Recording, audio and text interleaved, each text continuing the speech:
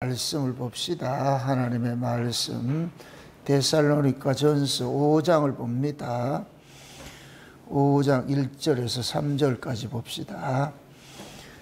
데살로니가 5장 전서 5장 1절에서 3절까지 보도록 합시다. 같이 보도록 합니다. 형제들아 때와 시기에 관하여는 너에게 쓸 것이 없음은 주의 날이 밤에 도적같이 이룰 줄을 너희 자신이 자세히 알미라. 저희가 평안하다 안전하다 할 그때에 잉태된 여자에게 해산 고통이 이름과 같이 멸망의 호련이 저희에게 이르니 결단코 피하지 못하리라. 아멘. 기도합시다. 아버지 하나님 우리 주님 다시 오실 때가 가까운 때입니다. 만물이 갖가지의 징조를 통하여서 알려주고 있습니다. 이러할 때에 우리가 만물을 통하여서 그 때와 시기를 분별할 수 있는 눈들을 허락해 주옵시길 원합니다. 오늘도 그 때와 시기에 관하여 우리가 살펴보고자 하오니 이 한 시간도 주의 성령께서 우리에게 지혜와 계시의 영으로 함께 하셔서 이 시간도 이 마지막 때 어떤 때 어떤 일들이 일어나고 있는지 또 때를 통하여서 우리가 어떤 것들 준비를 해야 되는지 오늘도 말씀을 통해서 깨닫는 마음을 허락해 주옵시길 원합니다. 그래서 모두가 신랑 되신 예수께서 다시 오신다는 이 소망을 가지고서 늘 신부처럼 예비하는 그러한 신자의 자세로 서 있을 수 있도록 우리 하나님 도와주시옵소서. 종의 입술의 시간도 말씀을 넣어주시고 그 말씀이 다름질하게 하시고 다름질하는 말씀들이 이 시간도 살아가는 주의 백성들에게 꼭 필요한 말씀으로 저희들의 심령 속에 다름질하는 말씀으로 증거될 수 있도록 성령께서 주장해 주시옵소서 감사를 드렸고 그리도 되신 예수님의 이름으로 기도합나이다. 아멘. 지난 시기에, 지난 시간에 우리가 네, 때와 시기에 대해서 살펴볼 때 네, 개인 종말에 대해서 살펴봤습니다. 네, 두 가지 때와 시기가 있는데 개인 종말이 있고 역사적 종말이 있습니다. 우리는 모두가 역사적 종말은 하나님께서 이 역사를 운행하는 데 있어 가지고서 정한 시간이 있습니다. 정한 시간대로 그대 이루어지지만 또 개인 종말은 우리가 이 세상에 태어나는 순간 우리 또 하나님 앞에 돌아가야 될 때가 있잖아요. 그 개인 종말은 예, 각자 각자가 다 그것이 타임라인이 다 다릅니다. 그래서 예, 우리가 구원을 받는 것은 예, 예수 그리스도에 의해서 구원을 받는데 그 예수 그리스도도 삼직으로서 우리에게 일을 하시잖아요.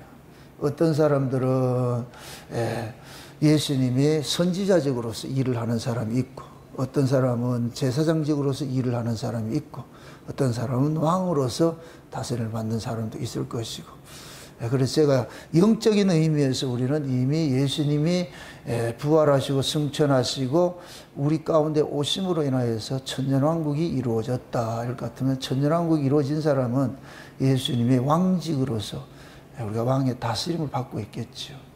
그러나 율법 아래 있는 사람은 예수님께서 선지자 역할을 하지요. 율법 아래 있는 자들은 은혜 아래로 빼내심을 입게 되는데 그때는 그 뭐냐 옛 것은 다 제해버리고 새 것으로 심는 일들이 있는데 이 선지자적 그러한 그 예수님은 항상 우리에게 다가오면은 우리의 죄를 고발하고 우리의 그릇된 신앙들을 책망하는 그런 쪽으로 다가오거든요. 음. 그게 만약에 율법 아래 여러분들이 있다 할 같으면은 그 말씀들이 찌르는 채찍같이 말이죠. 아프게 다가오겠죠.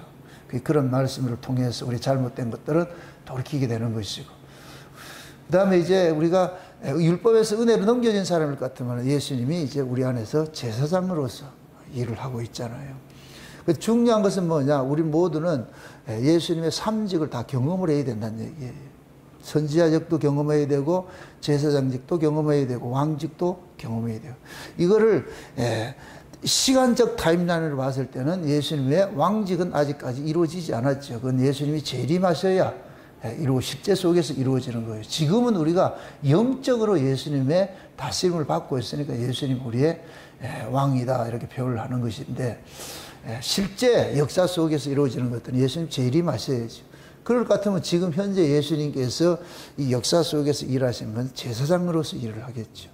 선지자직은 예, 십자가의 죽으심으로 완성을 하셨으니까. 그럼 그 십자가를 통해 가지고서 율법에 대해서 죽임 당한 자들이 은혜로 넘어온 자들에게는 이제 예수님은 선지자가 되어 가지고 우리를 다스리고 있겠죠.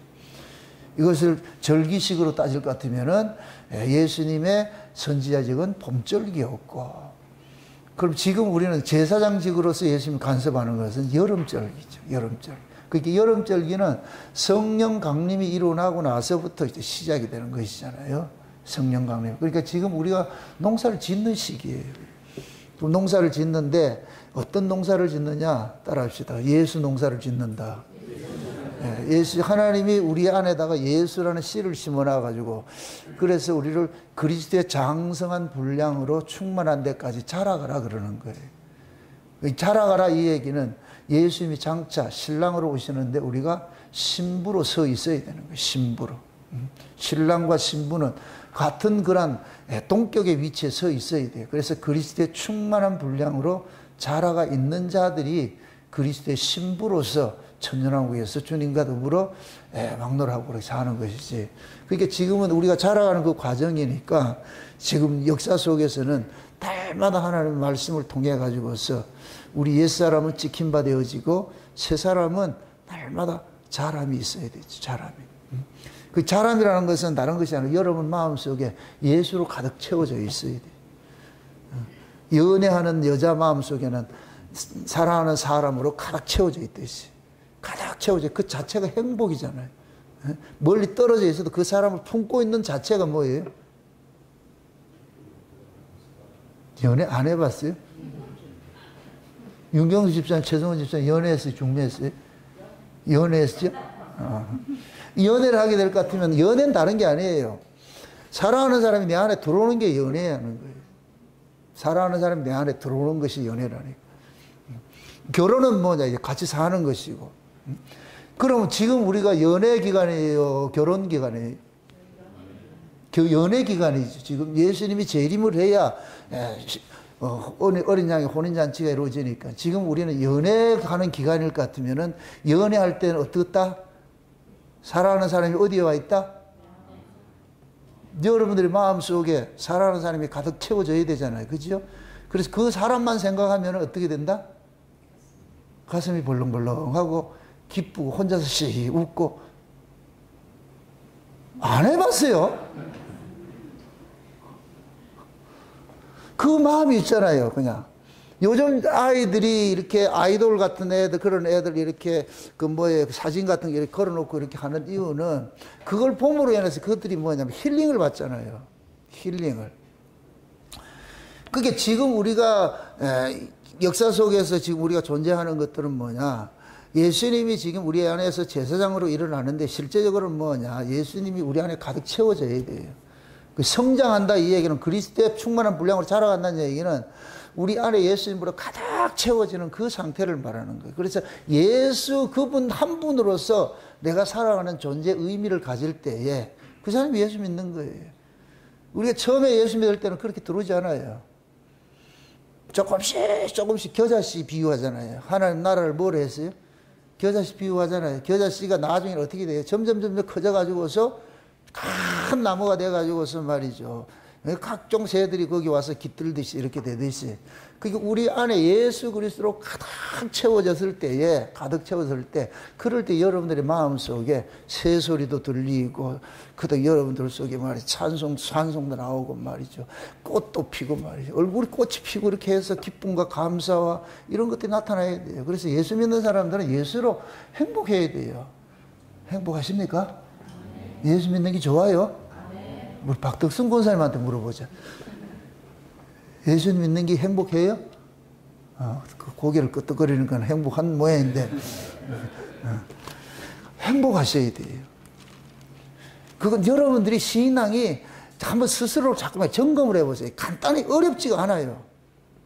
예수님 사랑한다고 하면 예수님 자체로 행복해야죠. 그럼 사랑하는 거 예수님 사랑하는 거 근데 예수님 이야기를 하는데 덤덤해. 그 사람 지금 다른 서방하고 놀고 있는 거예요. 분명히 그 사람 바람 피우고 있다니까. 세상에 다른 신랑하고 지금 놀고 있어.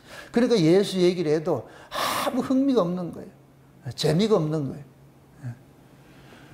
그게 그, 그러니까 역사적 종말보다 개인 종말이 훨씬 중요한 거예요. 훨씬 중요하다니까. 예? 그래서 우리는 이 생명이 끝나는 날 우리는 다 주님 앞에 다 서게 돼 있잖아요. 반 앞에 서게 돼 있어요. 그때는 다시 돌이킬 수 없어. 패자 부활전 없어요. 예. 그럼 역사 속에서 지금 잘해야 돼. 오늘날이라는 날 동안 우리는 열심히 뭐 하느냐. 예, 그리스도의 장성한 분량으로 참내 안에서 충만해져야 돼. 충만해져야 돼. 예? 마치 저, 저, 뭡니까. 예? 그 물, 그, 저, 뭡니까. 물동이 속에 물 붓듯이 말이죠. 항아리 속에다 물을 채워가지고서 가득 채워지면 그냥 옆구리 찔러면 그냥 누가 나온다? 예수 이야기 포도다. 그게 포도주예요. 물, 물이, 물을 채웠는데 뭐가 나오더라? 포도주가 나오잖아요. 그러니까 물은 우리를 유쾌케 하잖아요. 포도주를 마실 것 같으면 우리를 기분 좋게 만들잖아요. 그러니까 우리가 예수 그리스도로 충만히 채워질 것 같으면은 내가 살아가는 삶의 의미도 기쁘고 내가 살, 사는 것도 감사가 나오고 그런 것들이 그럴 때 내 주변의 사람들에게 영향을 끼치는 거예요. 아, 저 사람 뭐가 저렇게 좋을까? 그럴 때 여러분들 당당하게, 당당하게 얘기를 해줘야 돼요.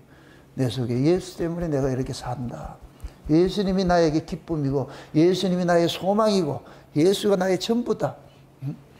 이렇게 해서 이거는 예수를 품은 사람만 알 수가 있어. 품은 사람만. 예수를 품지 않는 사람은 그 의미를 모르죠.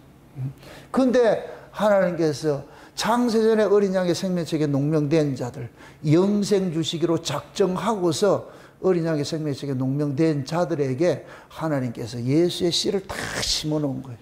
예수의 씨를 심어 놓은 그럼 그 씨앗은 흙을 토양을 삼아가지고 거기서 양분을 끌어들여가지고서 피워서 열매를 맺듯이 예수님의 그 생명이 우리의 몸을 먹고서 말이야 몸을 가지고서 예수님의 생명을 참 키워가는 거예요. 그래서 충만해져 가야 돼, 충만해져. 그럴 때 그 충만해진 그런 상태, 그러한 상태 뭐냐? 신부다. 그런 게 신부다. 아, 이제 신랑하고 결혼해도 되겠구나. 그 상태가 돼. 응? 그래서 하나님이 우리를 이 역사 속에서 예수를 믿고 이렇게 데려갈 때도 그러한 상태로 데려가요. 그래서 진짜 예수를 믿는 사람들이 마지막 죽을 때도 주님 앞에 간다는 그 설렘, 그 기쁨, 이런 것들로 채워져 있다니까. 그래서 죽음이 절대 저주가 아니고 죽음은 끝이 아니고 이제 신랑한데 이제 시집을 간다 이런 생각을 가지고 있을 것 같으면 죽음은 기꺼이 감사하게 맞아들일 수 있죠. 여러분들 이, 이 죽음의 신앙을 넘어가지 못하면은 여러분들 신앙을 재고를 해보셔야 돼요. 예수님께서 우리에게 있는 자 일평생 죽음의 종로를 하는 자에게 예수님께서 그들을 놓아주러 오셨는데 그럼 예수를 만난 사람은 반드시 거기로부터 노임을 받아야죠. 좀 극단적으로 얘기를 해가지고 좀 아파도 괜찮아요. 어차피 이 몸은 생로 그래 가게 돼 있잖아요. 태어나면 늙고 늙으면 병들고 병들면 그게 과정인데. 예. 그게 물론 우리가 살면서 몸 아프니까 아파가지고서 병원에 다니고 고치고 하기는 해요 하는데 그 병이 나를 자학을 하면 안 돼. 내 정신세계, 내 영적 세계를 자학을 하면 안 된다고. 그 병 때문에 내가 징징거리고 이러면 안 된다고. 그조차 이겨내셔야 돼. 우리 김학현 목사님이 그런 말씀 하시죠. 그분도 당뇨가 있는데, 고혈압도 있는데, 그걸 고치기 위해서 엄청 노력을 했는데, 이러다 보니 나중에 보니까 본인이 그런 간증을 하는 거예요. 내가 당뇨의 종로를 하고 고혈압의 종로를 하고 있더라는 거예요. 그래가지고서 이게 깨달아져가지고 이제부터 약도 다 끊어버리고 아 고혈압 내하고 같이 살자. 당뇨? 어, 니 내하고 같이 살자. 그렇게 해서 마음껏 먹고 가는데 이게 건강한 거지. 이게 병을 이기는 것이지. 매 거기에 끌려가는 병에 지는 것이고 또 다 하라는 얘기가 아니고 믿음이 되면 하시고 그 병을 여러분들이 이겨야 될 거 아니에요. 맨날 아프다가 아 여기다 아야 아야 안 아픈 사람 없어요. 다 아파. 그걸 표현을 안 할 뿐이지. 그 그걸 우리가 이겨내야 된다니. 그걸 이기는 건 다른 거 없어요. 신앙밖에 없어. 신앙밖에. 내가 하나님의 그 말씀을 통해서 은혜를 받고 그 은혜가 나를 주장을 하게 될 것 같으면 그것조차 이겨내는 거예요. 아프면 아픈 대로 살아야지 뭐 어떻게. 많이 아프면 또 병원에 가서 치료받고 말. 우리 낭만나 또 진수 한 번 해보면 또 괜찮아지잖아요. 가서. 낫기도 하고 그렇게 해서 살면 돼요. 그러나 아픈 것 때문에 기쁨 이런 거 잃어보지 말라니까. 어? 한 예수님께서 우리에게 주신 그 영적인 그 기쁨들 빼앗기지 마시라니까. 천국의 소망을 빼앗기지 마시란 말이죠. 예? 그런 의미에서 여러분들이 어떤 병이라도 어떤 극한 상황이라도 그것조차 여러분들 이겨내셔야 돼요. 음. 그래서 예전에 우리 초대교회 때는 다 믿음 하나 때문에 전부 다 지하 카타콤에 들어가가지고 내 세상에 그 지하 카타콤 그, 그 내용을 하나 보고 나가지고 내가 깜짝 놀랐는데 카타콤에 살던 사람들이 평균 수명이 30세래. 30세. 저주다 복이다. 솔직히 잘 생각하고 대답해. 뭘, 또, 그래, 아직 짱구 굴리지 말고. 30세 죽었어. 복이다, 저주다? 거짓말 시키지 말아야지. 우리는 생각할 때, 아, 30이 아까워라 이러잖아요. 그 카타콤에서 무슨 소망이 있겠어요? 하나씩 주님 한번 살아보. 그 카타콤에서 죽은 시체들이 발굴된 게 65만 구래. 그렇게 초대교회는 그렇게 이겨냈다고. 예수 한 분 때문에. 다 집에서 쫓겨나고 가산 정모라고. 그 카타콤 속에 지하 감옥 속에서 서로 말해 위로하고 말해 그러면서 그럼에도 그들은 기쁨 잃지 않고 주님 다시 오신다는 건 내가 주님 앞에 간다는 그 소망을 이겨낸 거예요. 그게 재림신앙이 재림신앙. 그래서 그 재림신앙은 극한에서 재림신앙이 빛을 발해요. 평상시에는 모르는데 극한이 왔을 때 그 사람의 그 신앙이 빛을 발한다. 그래서 마지막 때 큰 환란에서 우리 환란을 피하는 게 아니에요. 환란 속에서 건진 받는 것이지. 예? 환란 통과하는 것이 환란 없이 우리 가는 게 아니에요. 물론 그때 하나님께서 그 환란을 우리에게 감해 주시는데 그러나 환란은 반드시 와봐야 돼. 그래야 신앙이 곧뭐하느냐. 그 신앙이 옳은지 그른지를 그걸 판단하는 거예요. 그런 것들이. 그래서 극한에 한번 더 던져봤을 때 신앙의 본질이 드러난단 말이죠. 그, 그거, 그런 것들이 앞으로 이제 역사적으로 오는 거예요. 오늘 역사적 종말에 대해서 살펴보는데 이 역사는 시작과 끝이 있잖아요. 창세기 1장에 태초에 하나님이 천지를 창조하시느라 했죠. 이건 예수 하나님께서 천지를 방문하는 것이잖아요. 방문하는 것이죠. 그럼 방문을 했으면 철수할 게 있을 거 아니에요. 예수님께서 마태복음 24장의 말씀을 종말에 대한 징조를 이야기를 할 때에 성전의 멸망 사건을 이야기를 하면서 그러니까 제자들이 그러는 거예요. 제자들이 감남산에 와가지고 성전에 대해서 막 자랑을 하는 거예요. 아, 저 미석이 아름답고 멋있잖아. 이렇게 했을 때 예수님께 돌 하나도 돌 위에 덧놓이지 아니하고 다 무너지리라 그러잖아요. 이 성전의 멸망 사건을 이야기를 하는 거예요. 멸망 사건. 예? 그 성전의 멸망이 일어난 그 때에 그러, 그러니까 제자들이 와가지고 그럼 그때 어떤 징조가 있습니까? 그 성전이 멸망당하고 세상 끝날에 어떤 징조가 있습니까? 그러니까 예수님께서 세상의 종말에 관한 징조를 성전 파괴 그 이야기와 같이 동일선상에 두고 있어. 동일선상에. 그럼 성전이 파괴됐다 얘기는 철수한다는 얘기예요. 하나님 이 세상을 철수한다는 얘기예요. 철수한다. 그래서 마지막 때는 성전 파괴가 일어나야 돼요. 성전 파괴가. 그럼 성전이 파괴되려면 어떻게 되어야 되겠어요? 성전이. 제 기능을 발휘해야 되겠어요? 기능을 발휘하지 못할, 못해야 되겠어요? 못해야 되죠. 구약에 보세요. 이스라엘 백성들이, 여러분들 이스라엘 역사를 잘 보세요. 70일에 읽어봤어요, 다? 피드백이 없어. 어, 너무 어렵죠?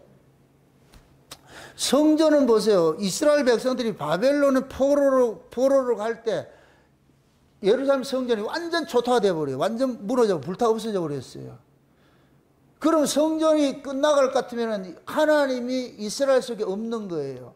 그럼 하나님께서 바벨론의 포로로 간 그들에게 하나님 이사를 가는 거예요. 그리를 갔다니까. 이쪽 그래서 이쪽 이스라엘 지역에 있지 말라 그러는 그리 잡혀가라 그러는 거예요. 그리 갈 때 하나님께서 선지자를 통해서 하나님 그거 계시하니 그게 에스겔 선지자니까. 에스겔에 가가지고서 그들에게 뭐 하느냐 가르쳐 줄 때 성신으로 지어진 성전을 이야기를 해주는 거예요.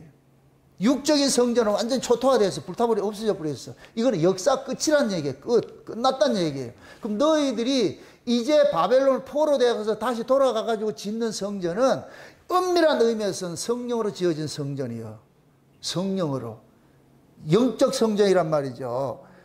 그러니까 그 성령으로 지어지는 그 성전에 하나님이 거하는데 그걸 여호와 산마라 그런다니까. 여호와 산마. 어? 하나님 그 속에 거하는 거예요. 그러니까 구약의 이스라엘 백성들이 애굽 저, 저 바벨론에 포로되었다가 돌아와 가지고 이스라엘 민족 자체는 없어져 버렸어. 종교적 회복이 이루어진 것이지 고레스가 이스라엘 백성들을 올라가 가지고서 성전 짓게 하고 그렇게 신앙했지만은 그때부터 이스라엘은 뭐 열강들 제국이 계속 이스라엘을 지배하는 거예요. 바벨론에서 바벨론이 망하고 나면 바벨론이 메데 바사에 망하고 메데 바사에 망하면 메데 바사가 헬라에 망하고 헬라에 망하면 로마에 망하고 그들이 자신들이 이스라엘은 독립국가를 가져본 적이 없어요. 바벨론 포로 이후에 신앙만 회복해 준 것이지. 예? 그 얘기는 결국은 뭐냐? 이스라엘은 끝났다는 얘기, 없다는 얘기, 없다는 얘기예요. 그럼 바벨론 포로로 끝이 나버려서 끝이 나가지고서 이제 회복되는 것들은 뭐냐? 영적 회복인 거예요. 쉬운 얘기로, 쉬운 얘기. 그래서 예수님께서 초림으로 오셨을 때 예루살렘 성전 다 없애버리죠. 초토화시켜버리죠. 그러고 나가지고 뭐가 아니냐. 성령 강림을 통해가지고 새로운 이스라엘이 만들어지는, 이제 영적 이스라엘이 만들어지는 거예요. 영적 이스라엘이 만들어진다니까. 그러면 예수님께서 종말의 비유를 할 때에 세상 종말의 그 징조를 이야기를 할때 성전 파괴 현상을 이야기, 이야기하는 것들은 그럼 마지막 때도 종말의 징조가 뭐냐? 교회가 마치 바벨론 포로 직전의 교회 모습으로 돼 이스라엘의 그 신앙의 모습으로 돼 있어야 되고 예수님께서 초림으로 오셨을 때에 그 모습이 돼 있어야 돼 그럼 예수님이 초림으로 오셨을 때 그 성전의 모습이 어떤 모습이 있어요 하나님의 뜻에 하나님 올바로 섬겼어요. 강도의 구렬이 돼 버렸어요. 강도의. 그래서 종말에는 계시록 17장, 18장에서는 뭐냐. 교 타락한 교회를 음녀라 그러는데 각종 더러운 영들이 모이는 뭐다? 귀신의 그럼 귀신의 처소를 도해야 돼요. 멸망시켜야 돼요. 멸망시키죠. 그래서 마지막에는 좀 이, 이 성전 붕괴가 일어나는 거예요. 그러니까 마지막 종말의 징조는 최고의 징조는 뭐냐? 교회 타락이에요. 교회 타락. 노아 시대 어때요? 노아 시대 모습이 어때요? 그걸 교회 타락으로 볼 것 같으면 하나님의 아들들이 사람의 딸들과 결혼하지요. 이게 타락이에요, 타락. 타락이라니까. 그걸 지금식으로 얘기를 할 것 같으면 교회가 세소가 되는 거예요. 세소가 되는 거. 예? 지금이나 그러나 또 어느 시대가 똑같아요. 어느 시대가 똑같아요. 에스겔서를 보세요. 그, 그, 저, 저, 저, 뭐야, 이, 이, 이스라엘의 그 타락상을 구멍 하나 뚫어가 이렇게 들이다 보니까 그 아주 각종 곤충들을 섬기고 말이죠. 어? 동방 태양을 경배하고 말이죠. 그 장로들이 막 우상들에게 그 분양을 하고 그렇게 하잖아요.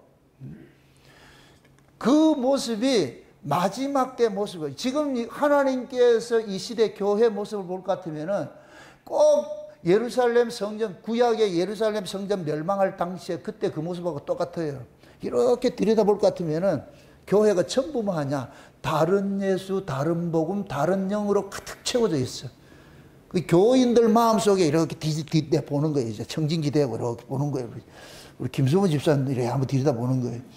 저 속에 지금 뭐가 있는가? 이렇게 들여다보는 거예요. 여러분들 속에 들여다볼 것 같으면은 거기에 지금 어떤 게 있어야 돼? 오직 신랑 대신 예수로 이렇게 가득 채워져 있는데 가만히 이렇게 보니까 신랑이 이쪽에 찌그러져 있어요. 다른 신랑이 탁 차지하고 놀고 있어 지금.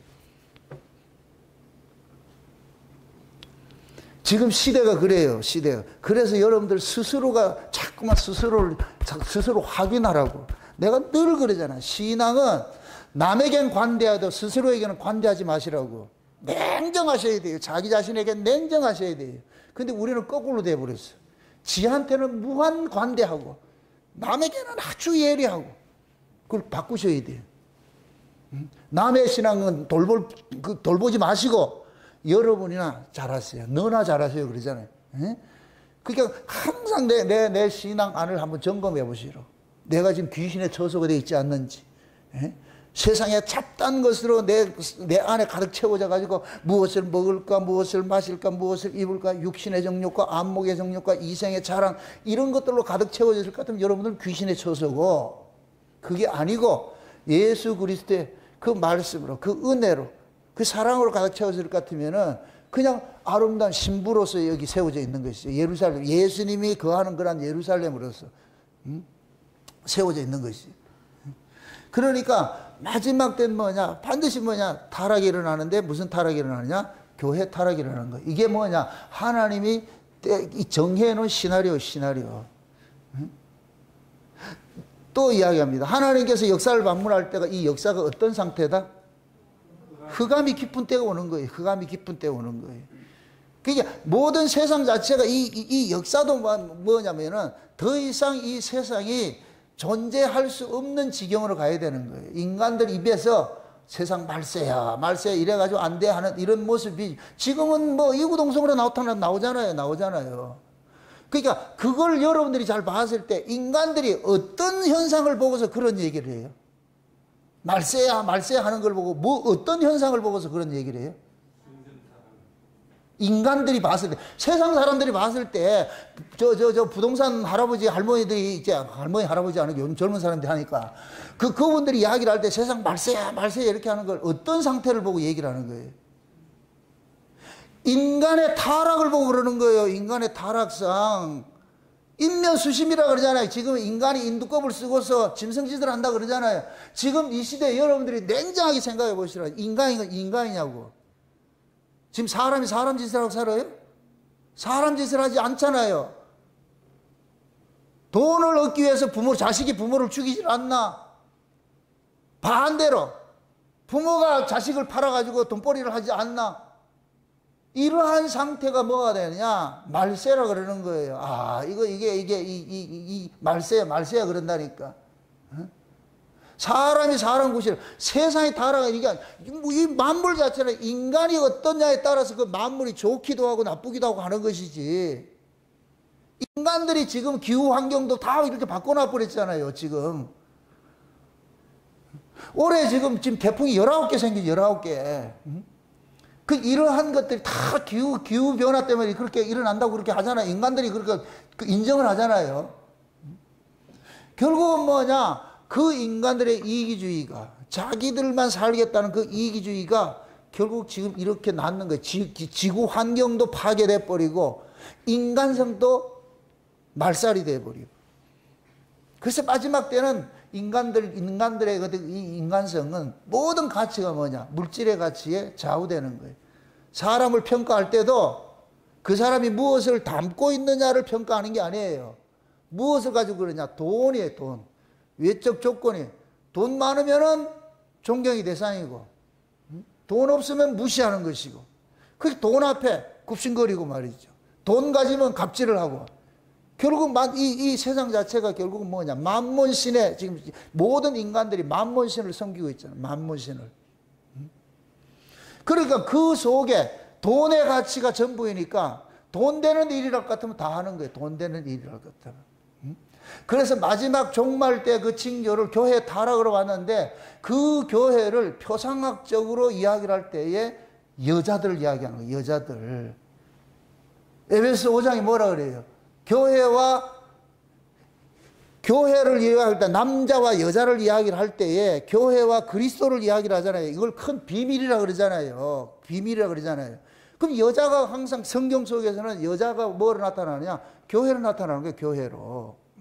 여러분들이 이렇게 열왕기상이나 이렇게 쭉 살펴볼 것 같으면은 항상 열왕들의 그 열전을 볼 것 같으면은 의미가 나온다니까. 누구의 아버지의 이름이 나오는 게 아니고 의미의 이름이 나와. 의미의 이름이 나온다는 얘기는 그걸 교회 타락이 나온다는 교회 타락으로 나타나는 거예요. 예. 음?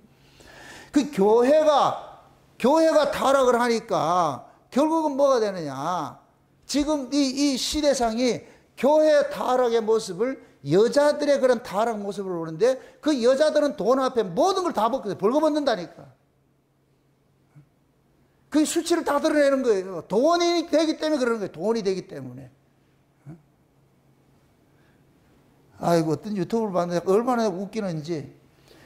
어떤 여자가 천국에 갔어요. 천국에 갔더니까 줄이 엄청 서 있더라는 거예요. 들어보내지 않고. 그래가지고서 이 여자가 그 천국의 문지기한테 가서 물었다는 거예요. 천사님, 천사님, 왜 이렇게 안 들어보내고 있습니까? 그러니까 천사가 화를 내면서 다 한국 사람 때문이야! 이러더라는 거예요. 한국 여자들 때문이야! 이러더라는 거예요. 왜 그러세요? 이러니까. 성령을 해가지고 누구 누군지 모르겠다고. 그래가지고 지금 그것을 사실 인식 기계를 지금 설치를 하고 있대. 이게 진짜인지 가짜인지. 이거 얼마나 우스갯소리면서 내가 그걸 이래 보면서, 야, 맞다. 지금 여자들은 전부 다 뭐야, 엄마 뱃속에서 태어났지만은 강남 출신이 돼버렸잖아. 강남에. 다 성형외과에, 어떤 성형외과냐. 다 거기서 거기 만들어 가지고서 비슷비슷하잖아요. 그걸 교회로 얘기를 해봐. 지금 이 시대 교회가 인본주의로 가득 채워진 거예요. 인본주의로 가득 채워진 거예요. 인본주의는 반드시 뭘 몰고 오느냐? 세속주의를 몰고 오는 거예요. 세속주의를. 물질적 가치를 몰고 오는 거예요. 물질적 가치를. 지금 교회 모습이 교회 모습. 그래서 돈이라, 돈이 된다 할 것 같으면은 교회가 무슨 짓을 다 하는 거예요. 부끄러움도 없어, 이제는. 세상에서 욕 먹어도 괜찮은 거예요. 교회만, 그것만 많으면. 나는 그 김상원 목사가 뭐 재산이 수조 된다 이래. 나 깜짝 놀랐어. 자, 이게 이런, 이런 것들이 결국에 뭐냐, 가치가 뭐냐, 그 속에 가치가 돈으로 가득 채워져 있으니까 모든 걸 돈으로 판단하는 거예요. 그러니까 교회 안에도, 교회 안에도 요금, 지금은 교회 안에 그렇잖아요. 유전무죄, 무전유죄가 돼버린 거예요. 돈 있는 자는 득세하고 돈 없는 자는 무시당하고. 이 과연 교회냐고. 아니라니까요, 아니라니까. 그걸 이런 교회를 만드는 사람들이 구성원이 누구예요? 교인들이잖아요. 교인들이 세속적 가치를 가지고 있으니까 결국 뭐가 되느냐? 그런 교회를 만들어 가는 거예요. 그런 교회를. 예수님이 그 안에서 진짜 제사장으로서 그 사람을 장악을 하고 있을 것 같으면, 그 사람을 다스리고 있을 것 같으면 세속적 가치가 여기 자리 잡지 못하지요. 물질적 가치가 자리 잡지 못하지요. 외모로 사람을 판단하지 않지요. 근데 예수님께서 이 안에 장악을 하지 않고 있으니까 뭐가 되느냐? 세속적 가치로 판단하는 거예요. 외모로 판단하는 거예요. 세상 가치로. 그게 그냥 웃을 일이 아니고 지금 이 시대 우리 모습이 우리 모습이에요. 그리고 우리는 냉정해져야 되는 거예요. 냉정해져야 돼. 이런 부분들이 여러분들이 마지막 종말 때는 이런 일들이 다 창궐에서 일어나요. 창궐에서 일어나요. 그래서 역, 저 역사의 종말에 최고의 표징이 뭐냐? 교회 타락이라는 게 교회 타락. 하나님은 이방인들이 타락하는 건 그냥 아무 관심 없어요. 그건 어차피 타락한 사람들이 타락한 인간들이니까 타락을 사는데 교회는 하나님의 백성으로서 하나님의 성결을 지켜야 되는데 그 하나님의 성결이 다른 것이 아니에요. 그 사람 깨끗하게 산다고 이게 그냥 성결이 아니고 하늘의 가치, 하늘의 가치. 하늘의 그 가치를 살아야 되는데 교회가 하늘의 가치를 살지 않고 세속적 가치를 쫓아갈 것 같으면은 그게 타락이라고 그래요. 그걸 음녀라 그러는 게 음녀. 그래서 계시록 17장에 18장에 볼 것 같으면 음녀가 큰 금잔에다가 포도 주고 그걸 또 음행케 하는 포도주라 그러잖아요. 그래서 자주빛 옷을 이건 최고로 부를 누리고 있는 화려하게 사는 모습이에요. 각종 보석으로 몸에 꾸며가지고서 말이에요. 그래서 나는 여왕이라고 그러잖아요. 여왕. 지금 그렇게 살고 있잖아요. 교회가. 그래서 하나님께 그들의 죄가 하늘에 사무쳤다 그래.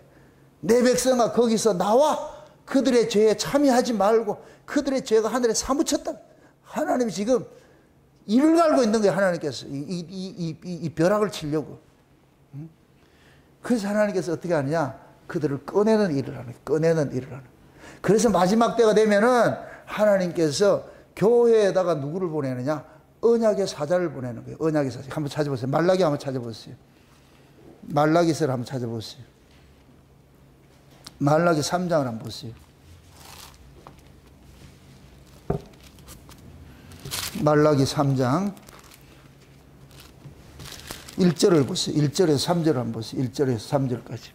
같이 한번 봅시다. 다 같이. 만군의 여호와가 이르노라 보라 내가 내 사자를 보내리니 그가 내 앞에서 길을 예비할 것이요 또 너희의 구하는 바 주가 호련히 그 전에 입하리니 곧 너희의 사모하는 바 언약의 사자가 임할 것이라. 그의 임하는 날은 누가 능히 당하며 그의 나타나는 때에 누가 능히 서리요? 그는 금을 연단하는 자의 불과 표백하는 자의 잿물과 같을 것이라. 그가 은을 연단하여 깨끗게 하는 자 같이 앉아서 레이 자손을 깨끗게 하되 금 은과 같이 그들을 연단하리니 그들이 의로운 재물을 나 여호와께 드릴 것이라. 아멘.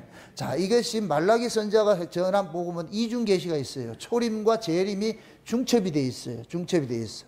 예수님께서 초림으로 오시기 전에 누구 먼저 보냈느냐? 사자를 하나 보낸 게 그게 누구예요? 세례 요한이요. 그 세례 요한이 뭐예요? 세례 요한이 어떤 일을 해요? 죄를 지으려고 하죠. 회개케 하죠. 그죠? 독사의 새끼들하고 회개케 하죠. 그렇게 하잖아요. 그게 진짜 예수님이 오시기 직전의 모습이 그런 모습이에요. 그러면은 바벨론에서 이스라엘들이 포로에서 해방이 되어 가지고서 스룹바벨과 여호수아, 느헤미야, 에스라 이런 사람들이 와 가지고서 신앙적 회복을 했어요. 회복을 했는데 여기에서 말라기 선제를 끝으로 예수님 초림 때까지 예수님 올 때까지는 400년 동안 선제를 안 보냈다 그랬어요. 선제를 안 보내니까 어떻게 되느냐? 바벨론에서 은혜로 회복돼서 교회를 세웠는데 이 교회가 다시 타락하기 시작하는 거예요. 율법 교회가 돼 버리는 거예요. 율법 교회. 바벨론에서 회복이 돼서 돌아온 건 은혜로 돌아온 거예요. 하나님의 은혜로 돌아왔는데 그러면 그 성전에서 예배를 드리는 것이 은혜로 하나님 앞에 나아가야 되는데 은혜로 나아가지 않고 법으로 나아가는 거예요. 법으로 나아가는 그 이유가 뭐 뭐냐? 이게 하나님의 선지자가 없기 때문에 그러는 거예요. 그러니까 예수님이 초림으로 오셨을 때에 그들의 그 신앙 상태가 전부 뭐가 되냐 외식이 돼버린 거예요. 그래서 예수님께서 그때 그 신앙의 모습을 그냥 이 백성이 입술로는 나를 존경하는 마음은 내게서 멀도다. 잘 생각해서 입술로는 뭐 하고 입으로는 뭐 하고 예수 믿는다 이러는데 마음은 어떻게 하고 마음은 다른 놈이 있다는 거예요. 예수가 없다는 거예요. 예수가 없다는 거예요. 그 왜 그러냐? 사람의 계명으로 가르치니까 나를 헛되이 경배한다 그러는 거예요. 사람의 계명으로 가르치면 헛되이 경배. 지금도 마찬가지예요. 성경을 인본주의로 해석하면 헛되이 경배하게 돼. 신앙의 본질이 흐트러지게 돼 있어. 지금 이 시대 모든 교회 교인들이 신앙이 어긋나 있어. 왜? 사람의 계명을 가르침을 받으니까 그 신앙의 본질이 어그러진 거예요. 전부 세속주의가 돼버린 거예요. 뭐 교인들의 모든 가치가 돈이에요, 돈. 세상적 가치, 세상적 가치. 그건 세상 사람들이 살아가는 가치관이지, 신자의 가치관은 그게 아니에요. 신자의 가치관은 마치 카타콤에 사는 사람들 같이 오로지 주님께 소망하고 하늘에 소망하고 살아야 되는데, 지금 교회가 그렇지 않잖아요.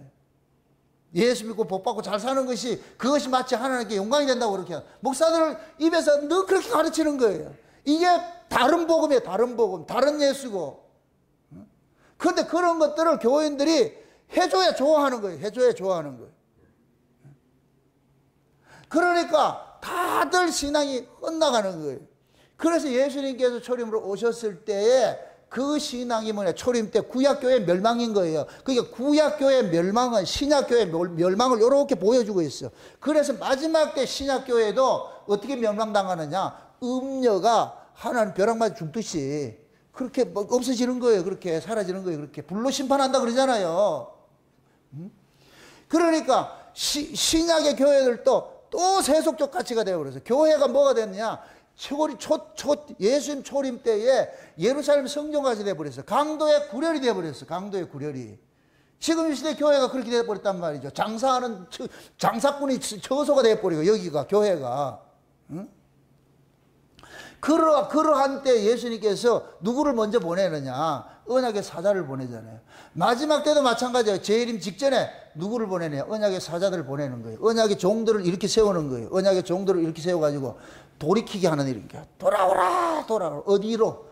말씀 안으로 돌아오라는 거. 언약 안으로 돌아오라 이거 회개하는 거예요. 그래서 여기서 그러는 거예요. 금을 연단하는 자의 불과 표백하는 자의 잿물과 같을 것이라. 그가 은을 연단하여 깨끗게 하는 자 같이 앉아서 누구 어떤 자손을 지금 깨끗게 한다 그래요?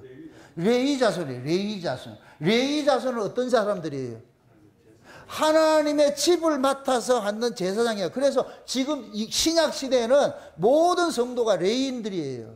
모든 성도가 레위인들이라고. 여러분들 이걸 잘 보셔야 돼요. 이스라엘 민족들이 있는데 야곱의 열두 아들이 있어도 실제 유업을 받는 아들은 요셉이에요, 요셉. 이걸 구속사로 봤을 때 요셉만 구원받아요. 나머지는 없어. 영적인 의미로 봤을 때에. 제가 11조 구원이라는 것을 늘 강조하는 이유가 그거예요. 요셉이 하나님의 언약을 받고 요셉이 자기 형제를 살려내는 일이잖아. 그런데 이 요셉의 그 다른 형제들은 계속 타락해 계속 타락해요. 끝까지 타락한다니까. 그게 요셉이 지금 이것이 그대로 뭡니까? 그, 저, 저, 열두 지파로 나타날 때 유다 지파가 남쪽 유다, 바벨론에 포로당한 지파가 남쪽 유다 지파예요, 유다 지파. 유다 지파하고 베냐민 반 지파하고 섞여가지고 갔는데 근데 그 유다 지파가 돌아왔잖아. 유다 지파가 돌아와가지고서 예수님 오실 때에 그래서 유대인들이 있는 거예요. 유다 지파를 유대인이라 그런단 말이죠. 나머지 열 지파는 북쪽, 북, 북쪽 이스라엘을 만들었는데 저, 저, 저 뭡니까. 솔로몬이 죽고 나가지고서 르호보암하고 여로보암하고 해서 나라를 갈라버렸잖아요. 나라를 갈르는데 근데 남쪽 유다하고 베냐민 지파는 유다를 남쪽 유다라 그러고 나머지 열 지파는 뭐 하냐? 열 지파 반은 저쪽에 북쪽 이스라엘이라 그러는 거예요 북쪽 이스라엘. 이놈들은 아수르에게 멸망당해 가지고 흔적이 없어져 버렸어. 통혼해 가지고. 이방인들하고 그게 통혼돼 가지고서 이, 이 정체성이 사라져 버렸다니까. 그들을 일컬어 가지고서 예수님 초림 때 오셨을 때 그들을 뭐라 그러냐? 사마리아인이라고 그래 사마리아인. 그래 사마리아인을 유대인들은 뭐라 그러냐 개라 그랬다니까 개. 개 같은 이방이라 그랬다니까. 근데 실제 사마리아인들 제사 지냈어요? 안 지냈어요? 그리심산에서 제사를 지냈잖아. 그래서 수가성 여자가 묻잖아. 저 예루살렘 성전에 가서 제사 지낼까요? 그리심산에 가서 지낼까요? 그럼 사마리아는 그림신산에서 제사를 지냈어. 그들도 스스로는 뭐냐? 하나님의 백성이라고 자부하기 때문에 제사 지내는 거예요. 그런데 영적 의미로 봤을 때는 그들이 혼합족이 돼버렸어. 혼합족이 돼버렸어. 순수혈통이 아니라 순수혈통은 누구뿐이냐? 유다지파밖에 없는 거예요. 유다지파밖에 없어. 응? 이렇게 될 것 같으면은 유다 지파만 구원받는 지파가 되고 나머지는 싹 없어지는 지파가 돼버려요. 응? 마지막 때도 마찬가지예요. 마지막 때도. 응? 여러분들이 영적인 의미에서 요셉의 지파가 되어야 돼요. 요셉의 지파가. 지금 또 여기서 보세요. 레이, 라, 레이 자손을 뭐 한다 그래요? 연단케 해가지고 하나님 앞에 거룩한 드리는 재물이 된다 그러잖아요. 그렇죠? 그럴 것 같으면 이스라엘의 열두 지파 속에 열두 지파 속에 하나님께 속한 지파는 레위 지파만 되는 거예요. 요셉은 지파가 없어요. 레위지파가 되는 거예요. 레위지파가 하나님의 집을 맡은 자가 돼버리잖아요. 그 레위지파가 우리 신약적으로 해야 할 것 같으면 교회요. 우리라니까 우리가 지금 레위지파야. 아, 여러분들이 다 레위지파라니까. 그래서 마지막 때 언약의 사자가 오는데 이 언약의 사자가 예수님이 오시기 전에 이 언약을 외치는 종들이 일어나는데 이들이 누구에게 가가지고 이 말씀을 외치느냐? 교회에 가가지고 외치는 거예요. 교회에 가가지고. 이게 두 증인들이라 그래서 두 증인들. 우리 온 목사님 안수식 때 제가 설교한 것이, 음? 참, 참, 이, 이 자리 빌어가지고 내가 좀 미안한 감을 느꼈는데, 제가 설교를 듣고 보니까, 이 목사의 중앙만 얘기를 했지, 목사의 영광은 얘기를 안 했더라니까. 목사가 잘못하면 큰일 난다는 이, 이런 거면 중앙만 얘기, 목사직의 중앙만 얘기를 했는데, 영광스러운 거예요. 영광스러운 것이 있는데, 그거는 내가 빼먹었더라. 영광스러워요. 언제? 하나님의 말씀을 잘 전했을 때, 참종이었을 때, 거짓종이었을 때는 벼락 맞지만은 참종이었을 때는 영광스럽다고. 그 누구도 범접할 수 없는 그 영광을 가지고 있다니까. 그 영광을. 음? 어, 목사님이 그, 그, 그걸 그 자리로 가 계셔야 돼. 하나님이 기뻐하는 그 목사가 돼야지 사람이 기뻐하는 목사가 되면 안 돼. 그럼 벼락 맞는다니까. 그런 의미에서 목사를 세우는 것이 엄중하기 때문에 그래서 그 목이 고든 그 백성들에게 하나님의 말씀을 가지고 듣든지 안 듣든지 절하는 거예요. 이때 이 목사의 심정은 찢어지는 거예요. 찢어지는 거예요. 지금 그 얘기에 그 얘기 여기 다 말라기가 그들에게 가가지고서 연단을 하듯이 뭐하냐 잿물로 옷을 씻고 달리하듯이 금은 금은 그, 그 금과 은을 재련하듯이 레이 자 손을 정결케 만들어 가지고 하나님 앞에 드리라 그러잖아요. 하나님 앞에 드리라 그러죠. 그 일을 하라 그러잖아요. 그 다음에 4절 돌아, 4장 돌아가 보세요. 4장. 말라기, 말라기 4장 한번 돌아가 보세요. 4장을 한번 보세요. 4장. 4장 5절, 6절 보세요. 4절부터 4장 4절에서 보세요. 4절에서 같이 한번 봅시다. 다 같이 4절 6절 보시죠. 같이 너희는 내가 호렙에서 온 이스라엘을 위하여 내 종 모세에게 명한 법곧 율례와 법도를 기억하라. 보라 여호와의 크고 두려운 날이 이르기 전에 내가 선지 엘리야를 너에게 보내니니 그가 아비의 마음을 자녀에게로 돌이키게 하고 자녀들의 마음을 그들의 아비에게로 돌이키게 하리라. 돌이키지 아니하면 두렵건대 내가 와서 저주로 그 땅을 칠까 하노라 하시니라. 자 보세요. 크고 두려운 날이 이르기 전에 하나님께서 누구를 보낸다 그래요? 선지 엘리야를 보낸다 그러죠. 선지. 그럼 엘리야가 어느 때 사역했던 사람이에요? 아하방 시절에 사역을 했지요. 그 아하방 시절의 신앙의 상태가 어떤 상태였어요? 모든 백성이 바알을 뭘로 믿었어요? 하나님 믿었죠. 바알을 하나님 믿었죠. 그러니까 그, 그 모습이 엘리야 시대 모습이요. 그러니까 하나님께서 그러는 거예요. 크고 두려운 날이 이르기 전에 예수님 재림하기 직전에 누구를 보내느냐? 선지자를 보내는데 엘리야의 심정을 가진 선지자예요. 엘리야를 보낸다 그러는 거예요. 그러면 마지막 시대의 시, 교회 모습이 어느 시대와 같다는 얘기예요? 아합 시대와 같다는 얘기죠. 아합 시대와 같다는 얘기죠. 그럼 아합 시대 모든 백성들이 누구를 섬겼어요? 참 하나님을 섬겼어요. 바알을 섬겼어요. 바알을 바알을 하나님으로 섬기잖아요. 바알을 하나님이 섬기잖아요. 지금 이 시대예요. 지금 이 시대 모든 교인들이 떡 주는 예수를 믿고 있는 거예요. 떡 주는 예수. 말은 예수인데 들어가 보면 뭐냐 땅의 예수, 떡 주는 예수, 병고치 주는 예수, 자기에게 유익하게 주는 그 예수를 섬기고 있어. 이럴 때 엘리야가 가가지고서 너희가 믿는 바알이 참 하나님인지 내가 섬기는 여호와가 참 하나님인지 내게 하자 그래가지고서 그 선자들 데리고 그 갈멜산에서 내게 한 거예요. 누구가 진짜 참신인지를 그 하나님 누구 편 들어줘요? 엘리야 편 들어주잖아요.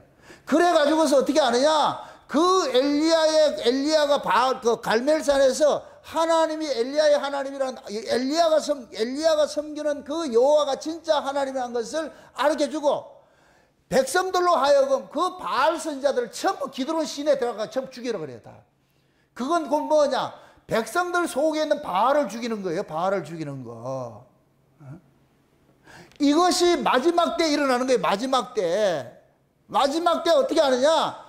주의 종들이 일어나 가지고서 엘리야의 능력과 심정을 가지고서 교회에 들어가 가지고 외치는 거예요. 외치는 거예요. 너희들이 섬기는 그 예수가 가짜다. 가짜다. 이게 가짜다. 어? 그 외쳐주는 거예요. 외쳐주는 거예요. 그럼 거기에서 진짜 레위자손 하나님께 속한 그러한 백성들은 통절한 회개가 일어나는 거예요. 어찌할고 일어난다니까. 그래서 그들 속에서 뭐를 제하느냐? 우상을 제하는 거예요. 스가랴에서 보세요. 스가랴에서. 말라기 앞에 스가랴. 13절 한번 보세요. 13절. 13절 보세요. 스가랴 10, 13장 1절을 한번 1절 보세요. 1절 2절 한번 보세요. 1절 2절 같이 한번 봅시다. 그날에 죄와 더러움을 씻는 셈이 다윗의 족속과 예루살렘 거민을 위하여 열리리라. 만군의 여호와가 말하노라. 그날에 내가 우상의 이름을 이 땅에서 끊어서 기억도 되지 못하게 할 것이며 거짓 선지자와 더러운 사기를 이 땅에서 떠나게 할 것이라. 아멘. 요 앞에서 볼것 같으면 하나님이 때가 되면 은총과 강구의 영을 부어준다 그랬어요. 은총과 강구의 영이 부어질 것 같으면 모든 백성들이 자기를 찌른 자를 본다 그래. 그럼 자기를 찌른 자를 본다 이 얘기는 이것은 예수님이 이들이 십자가를 죽인 그 사건이잖아요. 거기에서 그런들이 보고 통절한 애통이 일어나, 회개가 일어나. 그때는 각각 회개 한다 그랬어요. 집단적 회개가 아니고 각각 회개가 일어난다 그랬어요. 그 성령이 임하면 각각의 회개가 일어나는 거예요. 회개가 일어나. 그 회개하는 회개가 일어날 때 그 모습이 지금 13장 1절이에요. 그날에 죄와 더러움을 씻는 셈이 다윗의 족속과 예루살렘 거미를 열리리라. 만군의 여호와 말하 그날에 내가 우상의 이름을 이 땅에서 끊어도 끊어 끊어서 기억도 되게 하지 못할 것이며 거짓 선자와 더러운 사기를 이 땅에서 떠나게 할 것이라. 마지막 때 주의 종들이 두 증인들이 작은 책을 먹고서 애가와 애국과 재앙의 말이 담겨져 있는 그 말씀을 교회 안에 들어가가지고 외치는 거예요. 그럴 것 같으면은 진짜 하나님께 속한 백성들은 그 말씀을 듣고서 어떻게 하냐. 그들 속에 있는 우상이 재해지는 일들을 하는 거예요. 그들 속에 거짓신들, 만몬신, 예수 믿고 복 받고자 하는 이러한 모든 것들이 거짓된 신들이 이게 이런 것들이 재해져 나가는 거예요. 그래서 통전한 회개가 일어나는 거예요. 통전한 회개가. 응? 그래서 하나님께서 마지막 때 주의 종들 두 증인들에게 말씀을 오리지널 말씀을 매겨 가지고서 그 말씀을 먹은 종들이 가 가지고 하나님의 언약 안으로 돌아오라고 외치는 거예요. 언약 안으로 돌아오라고 외친다. 그 말씀을 듣는 자들은 곧 뭐하냐? 살아나는 거예요. 그래서 마지막 때 주의 종들을 일으키는 것은 자기 백성들이 지금 타락하고 있으니까 타락된 자기 백성들을 살려내는 거예요. 살려내는 거예요. 응? 여러분들 잘 보세요. 이스라엘 백성들이 바벨론의 포로를 당할 때 하나님께서 예레미야를 통해서 뭐라 그랬어요? 바벨론에 가라 그랬어요? 남아 있으라 그랬어요? 가라 그랬죠? 간 사람들은 살았어. 남아 있는 다 죽어. 하나님께서 바벨론 포로를 갈때 그게 하나님 뜻이에요. 이들을 쉬운 얘기로 바벨론에는 교도소에 보낸 거예요. 교도소에 보내가지고서. 그 교도소에서 뭐 하느냐? 형벌을 받게 하는 거예요. 형벌. 잘못된 형벌을 받게 하는 거예요. 여기에 있는 놈들 교도소 안 갔어. 죄 짓고 교도소 안 갔어. 그래 작살 내는 거예요, 이거. 이, 이 이스라엘 남아있는 놈들 다 죽여버린다니까. 그러니까 하나님도 마찬가지 마지막 때 주의 종들을 두 증인들을 보내가지고서 어떻게 하느냐 교회에 들어가지고 타락된 그 신앙에서 돌이키게 하는 거예요. 그들 속에 누가 있느냐 우상이 자리 잡고 있어. 우상이 자리 잡고 있어. 그 우상을 깨뜨리려 하는 거예요. 우상을 깨뜨리는 거예요.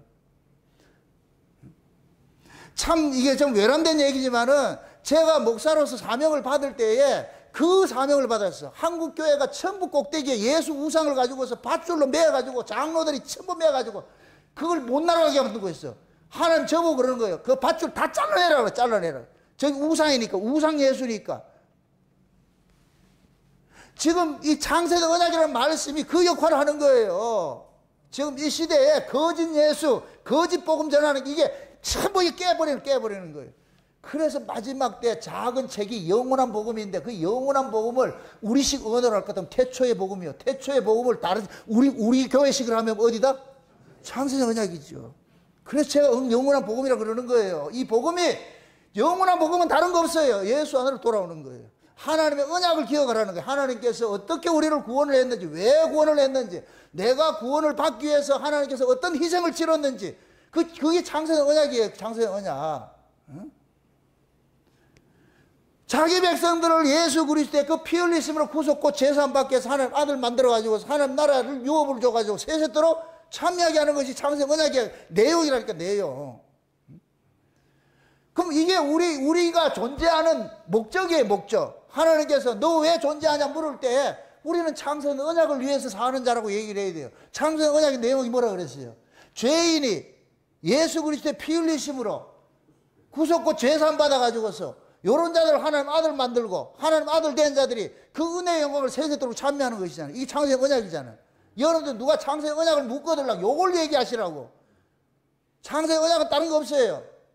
예수 그리스도 찬송하는 거. 예수 그리스도의 피로 구속받아서 그 은혜의 영광을 세세토록 참여하는 거. 그게 창세 언약이에요. 그래서 여러분들이 창세 언약을 듣는다 할 것 같으면 여러분들의 마음 속에 천국에서 계시록 계시록 4장 5장에서 일어났던 24 장로가 멸류관 벗어 가지고 어린 양에 던지는 그 사건이 지금 여기서 일어나야 돼. 여기서. 여러분들 심령 속에서 여러분들의 모든 영광들을 주님께 돌려드리는 그 일들이 일어나야 돼요. 그게 지금 여러분들이 창세 언약으로 사는 거예요. 이 복음을 귀로 들어서 그, 그거와 상관없이 살면 그건 드러나면 안 하고. 그래서 말씀이 여러분들을 가르쳐서 계속해서 뭐 하냐? 우리 안, 우리 저, 저 그리스도 안으로 우리 끌어들이는 거예요. 우리는 틈만 나면 그리스도를 떠나려 그래. 그래서 말씀이 그 끈이 돼가지고서 끌어당기는 거예요. 끌어당기는. 쉬운 얘기로 하나님께서 우리에게 목줄을 하나 해놨는데 그, 그 줄을 주님이 붙잡고 있어가지고서 우리는 툭 하면 어디로 가느냐 도망가. 그러면 쭉 잡아 당긴다. 그럼 다시 돌아와야 돼. 그래서 말씀이 계속해서 여러분들의 심령을, 심령을 이렇게 두들펴 가지고서, 두들겨 가지고서, 아, 이렇게 하면 안 되는구나, 이렇게 돌아와야 되구나, 돌아와야 되는구나. 다그 가치가 바뀌어져야 돼, 바뀌어져야 돼. 응? 그러니까 마지막 때 최고의 역사적, 역사적 종말의 그 징조 중에 최고의 징조. 그래서 예수님께서 마태복음 24장에 종말의 징조를 이야기를 할 때 뭐냐. 전부 교회 이야기, 교회 이야기. 첫 번째가 뭐예요? 사람의 미혹을 받지 말라 그래서 사람의 미혹. 많은 사람들이 내 이름으로 와가지고 내가 그리스도라 이렇게 한다 그러잖아요. 그럼 이단이 창고라는 거예요. 그래서 요한계시록 6장에 볼 것 같으면은 하나님께서 이 역사가 어떻게 진행이 될 것인가를 보여주는 것이 말들이 뛰는 걸 보여주는 거예요. 그 첫 번째 말이 뭐예요? 흰말이 뛰는데 이게 곧 뭐냐? 미혹이요. 적그리스도 되리요. 적그리스도. 미혹하는 자예 미혹하는 자. 그래서 미혹하는 자가 많이 일어나는 거예요. 많이 일어난다니까.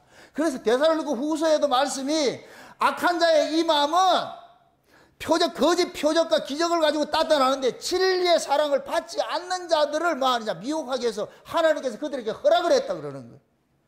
그러니까 거짓 종들을 일으키는 것도 거짓 신자들을 추수하기 위해서 일으키는 거예요. 일으킨다니까. 그러니까 우리는 그걸 배워야 돼, 알아야 되는 거예요. 아, 저기 적그리스도구나. 이걸 알아야죠.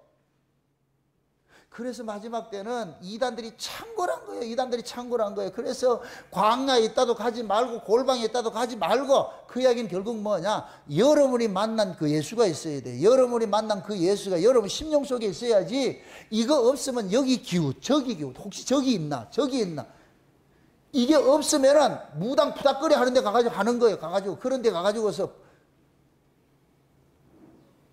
중요한 것은 뭐냐? 여러분의 심령 속에 하나님의 말씀이 탁 들어가지고서 여러분들이 좌고 우면하지 말고 마치 뱃샘에서 올라가는 두 마리 암소같이 여러분 등짝에 법계 대신 예수가 딱 지어가지고서 그냥 울면서 그리로 가야 돼. 태양의 집으로 가야 돼. 태양의 집이 누구냐? 태양의 그 벳세메스가 뭐 하는 곳이냐? 제사장들이 사는 동네예요. 천연왕국이 어떤 곳이냐? 제사장들이 사는 동네라니까. 거기가 벳세메스라고. 제사장들이 사는 천연왕국이. 그래서 우리는 천연왕국 가면은 모두가 뭐가 되냐? 왕 같은 보이다? 제사장들이. 다 그리 가는 거예요. 근데 그 올라갈 때 벳세메스 올라가는 그 두 마리 암소가 지 볼일 다 보고 갔어요. 좌로로 오나 치우치지 않고. 치우치지 않고 갔는데 웃으면서 갔어요? 울면서 갔어요?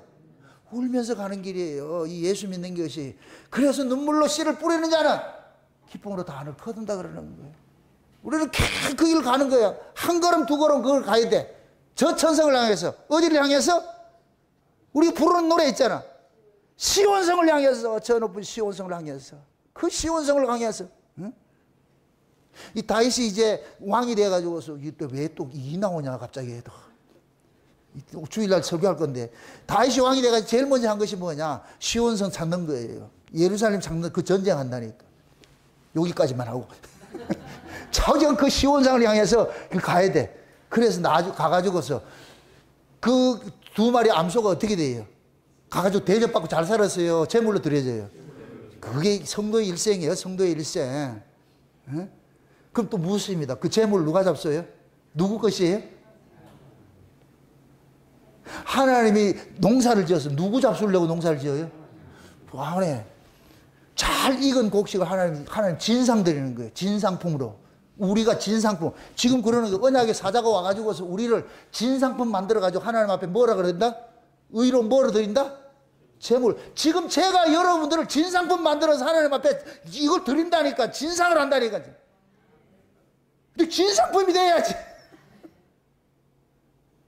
진상품 드리는 사람이 흠 있는 거 드릴 것 같으면 해고돼. 그래서 싸우는 거예요, 싸우는 거예요. 올바른 신앙, 올바로, 올바로 서 있으라고. 그래서 마지막 때가 되면은 하나님께서 강력한 말씀을 주의 종들에게 줘가지고서 애각과 애가와 애곡과 재앙의 말이라서 좋은 얘기 없어, 좋은 얘기. 선지자가 떴다 이 얘기는 좋은 얘기 한다, 나쁜 얘기 한다? 죄를 지적하는 거예요. 선지자 떴다 이 얘기 할 때면. 그래서 마지막에 두 증인들을 제사장이라 하지 않고 뭐라 그래요? 두 선지자라 그러잖아, 두 선지자. 그럼 선지자를 하나님 보냈다 얘기는 교회가 지금 올바로 됐다, 안 됐다? 계시록 11장을 보세요. 가가지고 교회 안에서 누구랑 싸워요? 땅에 거하는 자들과 싸우는 거예요. 땅에 거하는 자들. 땅의 가치를 쫓아가는 자들, 그들과 싸우는 거예요. 결국 그들 손에 예수님이 땅에 거하는 자들 손에 죽임을 당했듯이 두 증인들도 땅에 거하는 자들에게 죄를 고발하다가 죽는 거예요, 죽는 거예요. 그래서 사흘 만에 이들을 죽었, 죽었던 자들이 다시 부활하는 것, 부활하는 모습을 나타내 보여주는 거예요. 예수님과 똑같은 운명에 동참된 자로서. 그러면 마지막 때 두 증인들은 언약의 사자가 될 것 같으면 뭐 하느냐? 예수님과 똑같은 심정을 가지고 있어야 되죠. 그 말씀을 가지고 있어야 되지. 아멘? 그래서 예수님께서 유대교와 싸운 모습이 지금 이 시대에 우리가 그런 모습으로 있어야 되는 거예요. 우리가 그런 모습으로. 사람은 그렇게, 그렇게 흔히 그러잖아요. 죄는 미워하되 사람 미워하지 말라 그러잖아요. 그렇게 하되 죄에 대해서 철저하게 우리가 지적을 해줘야 돼요. 그렇게 비록 살지 못한다 할지라도 이거는 죄라는 걸 알아야 될 거 아니에요. 그래서 내가 늘 그러잖아. 정답을 변개시키지 마라. 그 사람이 비록 답을 못 쓴다 할지라도 정답은 정답대로 있어야 그 사람이 계속 그 정답을 통해서 내가 틀렸구나, 내가 틀렸구나. 이게 되지. 그 사람이 못 산다 정답을 바꿔버리면 안 돼. 목사는 올곧 게딱 하나밖에 없어요. 하나님의 뜻은 이것입니다. 그거 증거하는 거예요. 여러분들의 사정이 아 저 사람 피곤하고 어떻게 안 되면 그거는 내가 목사가 생각할 겨를이 없어. 만약에 목사가 인간들 생각할 것 같으면 아이고 피곤한데 그 멀리서 뭘로 와 그냥 그, 그 적당하게 드리지 다야 그러다 볼 것 같으면 교회 오지 마라 이렇게 된다니까. 비 오는 날 교회 오지 마라. 우리 그, 그, 최영만 목사님 그 교회 그렇다잖아요. 교인들이 한 1,500명 모였는데, 주일, 주일 날만 모이는데, 수요일이고 금요일이 없어. 그러니 그래 모이겠지, 그죠? 어, 이 말이 뭔 말인지 모르는데. 우리도 주일 날만 드릴까? 저는 소망이 날마다 끌고 오고 싶은데, 여러분들이 데모할까 봐서 지금 내가 못하고 있는 거예요. 때가 되면은 한번 그렇게 할 거예요. 날마다 월요 성경 공부, 화요 성경 공부, 수요 예배, 목요 성경 공부. 와, 좋다. 아주. 올 거예요? 우리 경산 식구들 올 거예요?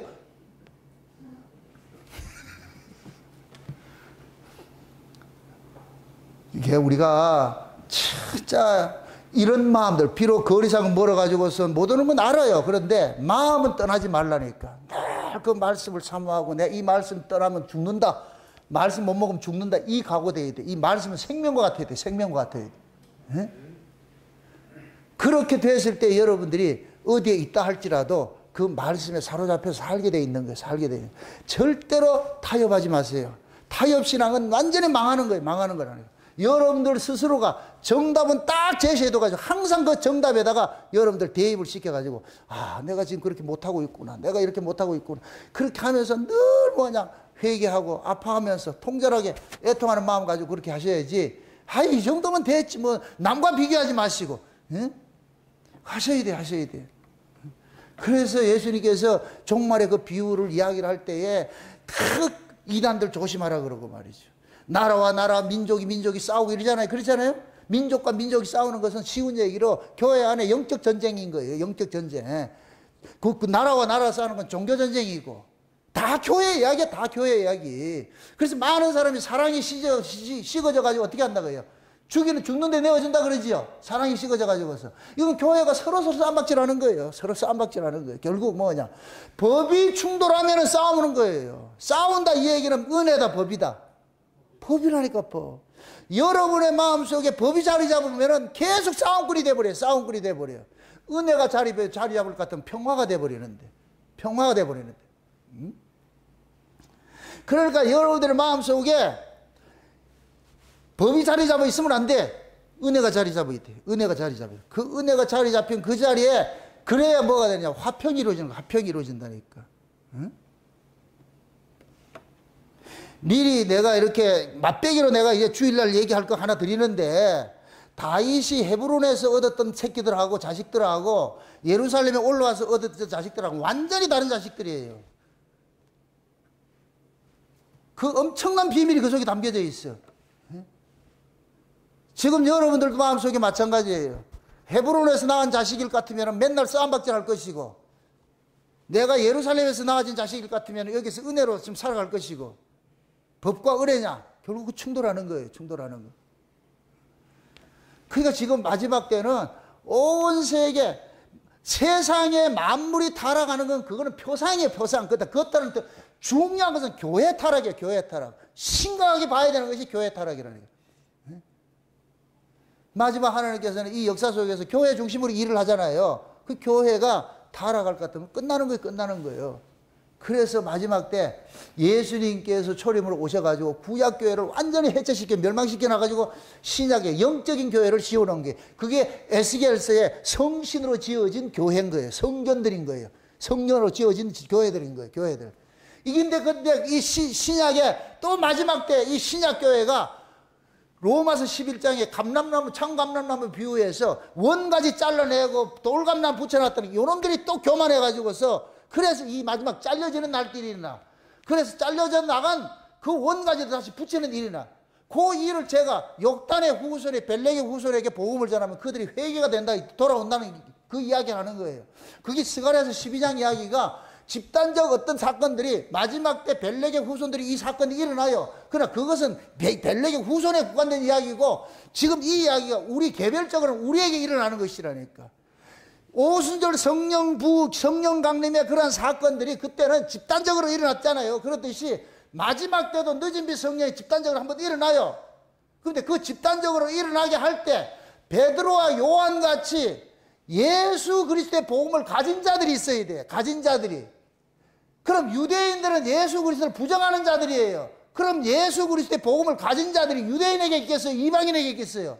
이방인은 이들이 욕단의 후손이가 욕단의 후손. 그래서 욕단의 후손이 마지막 때 이 복음을 가지고서 벨렉의 후손에게 전해줄 때 이들이 뭐 하냐? 통전한 회개가 일어나는 거예요. 와, 우리가 잘못했구나. 그럴 때 늦음이 성령이 확 부어진다니까. 부어진다니까. 지금 우리에게는 이미 늦음 성령이 부어졌어. 우리에게는. 그건 유대인들의 국한된 이야기는 늦음 성령이 한번 남아있다니까. 지금 이해되세요? 그래서 저와 여러분들은 이미 부어진 자로서 우리는 뭐 해야 되느냐? 그리스도의 재림을 준비하고 말이죠. 이미 예수님이 우리 안에 오신 것이 오신 것은 내가 재림한 것과 똑같다 그랬어요. 그럼 예수님이 우리 안에 와주실 것 같으면 우리는 뭐로 살아야 되냐? 천연왕국의 백성으로 살아야 되는 거예요. 천연왕국의 백성으로.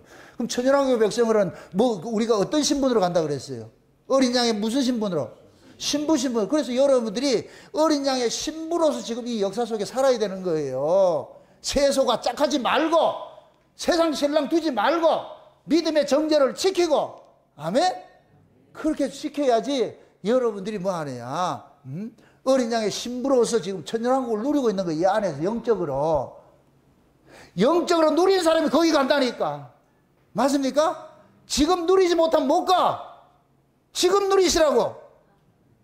허경영이만 하는 게 아니고 라인 나우 지금 이 자리에서 여러분 누리셔야 된다는 게 그게 이루어져야 돼.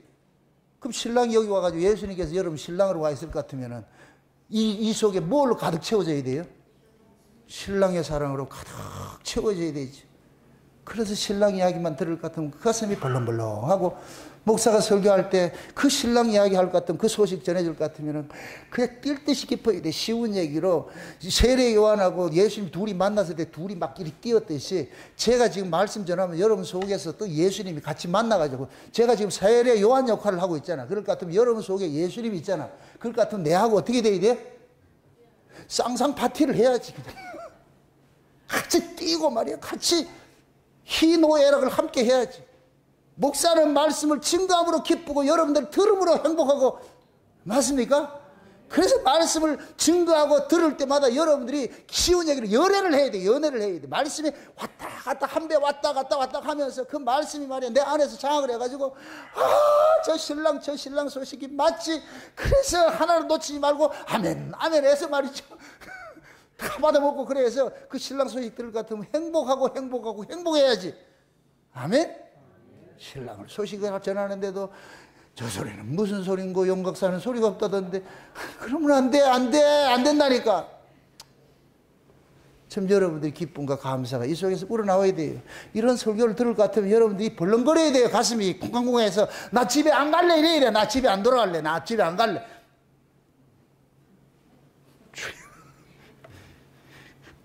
어떻게 빨리 집에 도망갈까 생각, 이 궁리만 하고 있으니 이게 뭐가 되겠냐고, 이게. 그거는 여러분들 신랑이 그 속에 있는 신랑이 다른 것, 다른 신랑이라는 얘기야. 제비 한 마리가 거기 있다니까.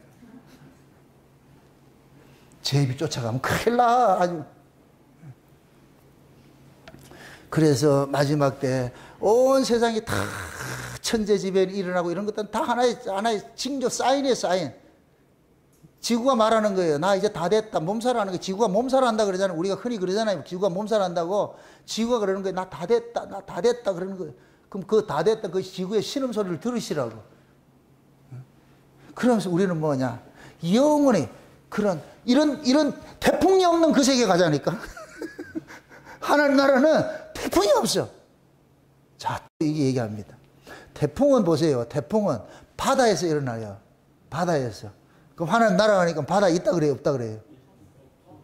유리바다가 있죠. 바다가 있기는 있는데 유리바다라 그러죠. 이건 바다가 아니라는 얘기예요. 그 속에 이게 청명한 그 모습이 유, 유리바다의 모습, 이 그 바다의 모습이 뭐냐? 청명하다 그렇게 표현을 하는 것들은 응? 이 세상 같은 이런 것이 없네. 거기 거기는 태풍이 없는 거예요. 일어날 수가 없어. 모든 것들이 다 하나님께서 뭐하냐. 이 역사 속에서는 변하는 것이 있, 있는데 그 하나님 나라는 변함이 없잖아요. 그러니까 무궁한 세계고 영원한 세계고. 아멘? 하나님께서 여러분들의 얼굴을 가장 아름다운 얼굴로 딱 만들어 줄 것 같으면 늙는다, 안 늙는다? 안 늙어. 왜 그러냐? 에덴에서 그러는 생명수 그걸 마실 것 같으면 그 생명수를 먹으면 늙는다, 안 늙는다? 안 늙어. 항상 예쁜 그 모습으로. 한번 상상을 한번 해보시라고. 그 세계 지금 우리가 기다리고 있어. 하나님 지금 그 세계 우리 데려가려 그런다니까. 그러니까 역사 속에 살면서 아무리 제비가 이리 오라 하더라도 제비한테 가지 마시고 제비 다리 확 분들어 버리고 다시는 내한테 오지 말라 그래. 그래서 여러분들 마음이 두 마음 품지 마시고 오직 주님 한번 말씀해서 여러분 마음속에 예수 그리스도 한 번 생각하면서 가슴이 쿵쾅 쿵쾅 잠자면서도 가슴이 콩닥콩닥하고 그냥 예수 이야기만 들으면 그냥 가슴이 설레고 말이 보고 싶고 보고 싶고. 사진 꺼내가지고 또 보고 또 보고. 해야지. 여기 속에서 꺼내놓고 또 보고 또 보고. 어쩜 이렇게 이쁘냐? 아 참 이쁘다. 좀 좀 퍼포먼스라도 그래 좀 해보세요 한번. 아 우리 주님 이렇게 멋있구나. 그런 마음을 가지고서 주님을 기다린다 할까 얼마나 행복하겠어 그 아가서의 술라미는 그렇게 살았잖아. 그럼 여러분들이 술라미 같으면 그렇게 살아야지. 맞습니까? 우리 윤경수 집사님만 그렇게 사는 것 같아. 다 그렇게 사셔야 돼. 행복하게 말이죠. 그래서 마지막 이 역사의 종말이 어떤 뭐 여러 가지 징조가 일어난다 할지라도 거기에 좌우되지 마시고 그 역사의 종말의 최고의 징, 종말의 징조가 뭐라 그랬어요? 교회 타락이라고 했어요. 교회 타락. 이거는 필연이에요. 교회는 타락할 수밖에 없어. 되게 되겠다. 그, 그, 그 노정이 되어 있다니까. 그 타락한 속에서 자기 백성들이 거기에서 믿음을 지키고 옷을 더럽히지 않는 자들이 있어. 그들을 마지막에 걷냐? 크면 나오는 거야. 내 백성은 거기서 나와! 나온다니까. 그때 백성들이 뭐냐? 말씀을 이끌려서 그들의 세력에게 동조하지 않고 빠져나오는 거예요. 빠져나오는 거예요. 지금 여러분들이 그렇게 빠져나온 모습으로 살고 있는 거예요. 살고 있는 거. 그 여기에서 안주하지 마시고 여러분 속에 예수 그리스도로 충만해질 수 있도록 또 채우고 또 채우고 채워가지고서 그냥 그 예수 자체가 여러분들의 이 기쁨이 되시고 그 예수 자체가 소망이 되시고 예수 자체가 여러분들의 생명의 근원이 될 수 있도록 그렇게 여러분들이 만들어 가셔야 돼. 아멘? 농사는 여러분들이 지셔야 돼. 그렇게 해야 될 것 같으면 이제부터 내 안에 예수 그리스도를 잘 키워가는 그러한 일, 충만한 그리스도의 충만한 분량으로 자라가는 이 일에 게을리하지 마시고 날마다 경주하시기를 주의 이름으로 축원드립니다. 기도합시다. 아버지 하나님 감사합니다. 하나님께서 우리에게 주신 그 구원의 은혜가 마지막 때를 겨냥해서 주어진 것인데 이제 예수님께서 다시 오실 때가 될 때 이 교회가 극심한 타락 속에 놓이게 된다는 이 사실을 알았습니다. 그러므로 내 자신이 교회일진데 내가 혹시 그 타락 속에 있지는 않는지 오늘 또 이 말씀을 통해서 우리 신앙을 좀 점검받고 우리 안에 우상을 제하고 거짓 선자가 쫓겨가는 그런 일들이 일어날 수 있도록 우리 하나님 도와주시옵소서 감사를 드리고 예수님의 이름으로 기도합니다. 아멘.